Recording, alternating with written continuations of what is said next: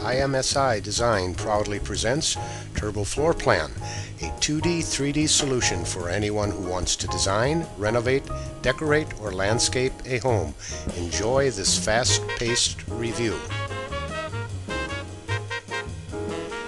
Let's create a 2D, 3D model.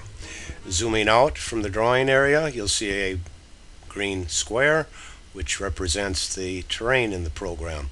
All aspects of the program are fully editable and here I'll select the slope tool from the terrain option set it to a 25 foot rise and with two clicks one to start the slope and one to finish it we've changed that terrain from a flat plane to one consisting of a 25 foot rise.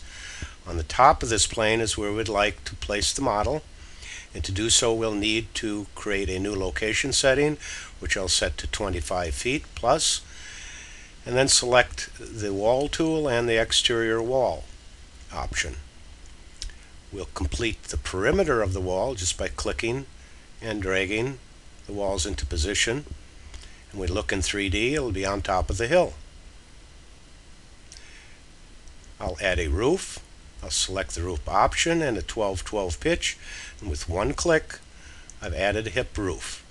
And to show you the power of the program I'll select this wall and the curve option and watch how as I drag this curve outwards the roof comes along for the ride.